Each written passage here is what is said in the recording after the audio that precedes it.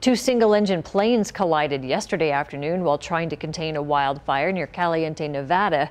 Both pilots were killed. This collision occurred at around 1 in the afternoon between two Air Tractor AT-8T airplanes. They were deployed to help battle the Bishop fire burning about 17 miles from Caliente. Officials say there was one person on board each aircraft at the time. The Bureau of Land Management later confirming the pilots were killed. It is now under investigation.